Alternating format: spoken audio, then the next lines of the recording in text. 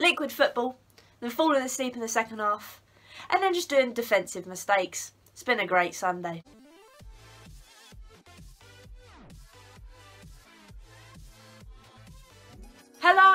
And welcome to another episode of Hollie Hollie's Hotspurs and today I'll be talking about that 3-3 draw against West Ham. If you're new to the channel please put a like on this video, comment you thought the game below and hit that subscribe button. Today we had a lot of high hopes. International break is over and we were all looking forward to club football. We saw the lineup come out. Now there was a lot of talk this week that Bale would be featuring in it. We all kind of knew he probably wouldn't start, and starting he did not.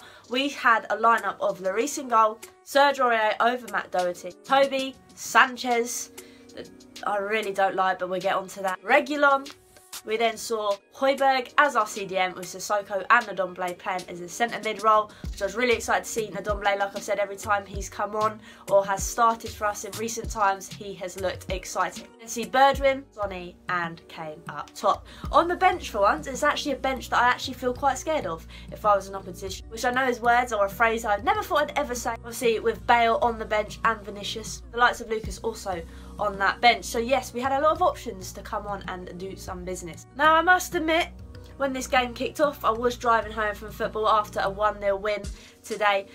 So I did unfortunately miss the goal which happened in quick succession, which was 45 seconds. Take a look at this.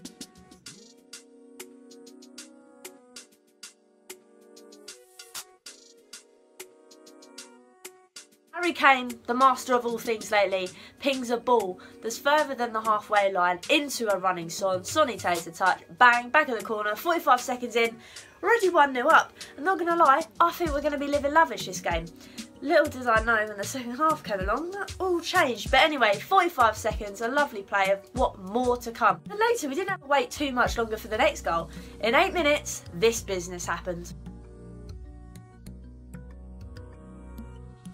Nice little bit of tiki-taki football on the edge of the box. Kane receives the ball, takes a touch, nutmegs Declan Rice. As he does that, it's another touch, bang, straight in the back of the corner. We're 2-0 up in 8 minutes, and my god, I don't know what to do with myself. In 8 minutes, we're 2-0 up. And then, to my surprise, we only had to wait another 8 minutes, because this happened in the 16th.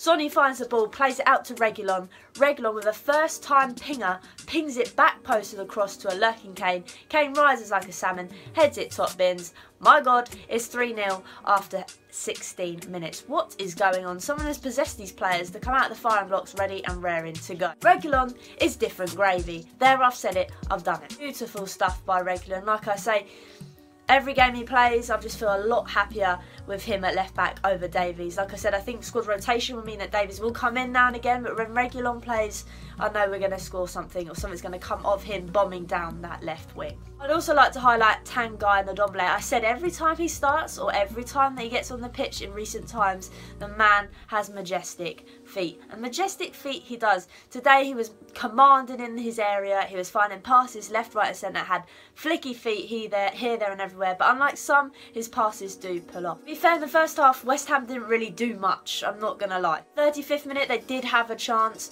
where Fornals tries to ping a ball into the box, but Sanchez blocks it. I think that's the only good thing that Sanchez managed to do the whole game. On the 42nd minute, Ndombele fires a pinger ball, a killer pass over the top of the back of the defence of West Ham to Harry Kane, but unfortunately for Harry Kane, just doesn't get his touch right and it goes out for a corner. But again, that vision from the Ndombele is adding more aspects to his game week in, week out. Half-time whistle goes and we are 3-0 up.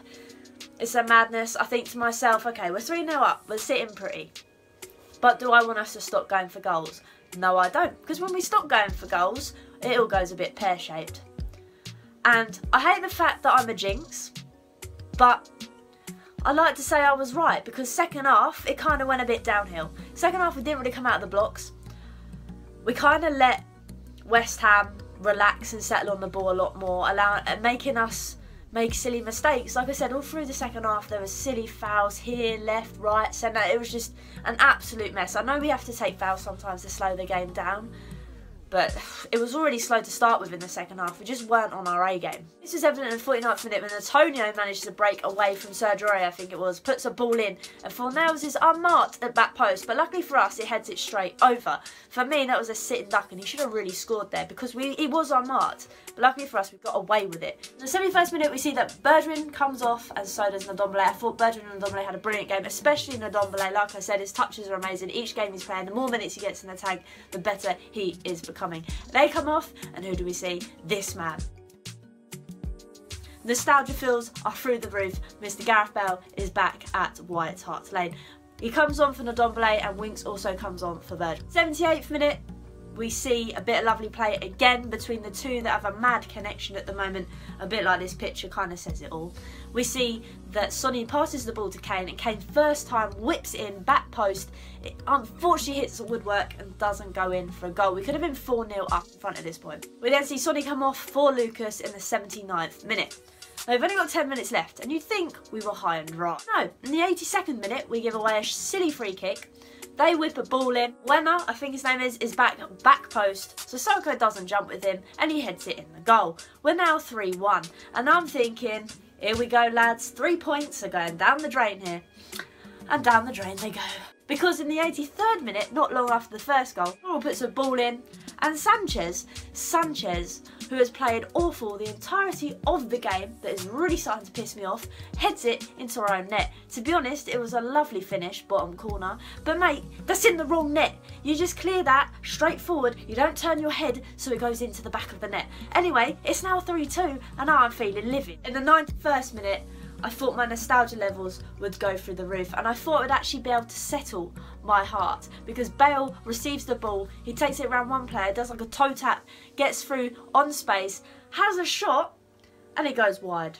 Man looks knackered after that, not gonna lie, but that could have really sealed the game. Not saying that Bale but I thought Bale could have scored that, and I thought he should have, with the talent he's got, the way that he managed to get around those players, they just couldn't finish a shot. Kind of did make me feel a bit sad, not gonna lie. And then from that, we give away another silly free kick.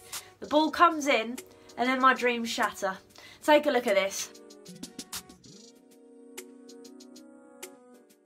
I can't even comment, that's just an utter whiz bomber. Once again, we're giving away needless fouls. I mean, there's like a minute to bloody go. And all fairness to West Ham, we stepped off the gas. They came out second half fighting. We costed ourselves once again and we come away with a point. Lovely jubbly. It's good that my bell shirt didn't arrive today because I wouldn't be very happy, let's put it that way. And I am also a jinx, like I said, I didn't get home in time. I was obviously Spurs scored their goals pretty early on, but I watched every single bloody West Ham goal, so that's great. I'm gonna, yeah, maybe I just shouldn't watch Tottenham games anymore. But anyway, regardless, like I said, that's three points down the drain. Um, I can't say anything about that Lanzini goal. That was it was, it was a whiz bomber, a, a firecracker basically. So yes, congrats to West Ham for getting your point. Not congrats to us for chucking away a 3-0 lead. People are saying, well, you're 3-0 up in front. What more do you want? With Tottenham being bottle jobs and having a history of bottling, bottling every goal, you just push on.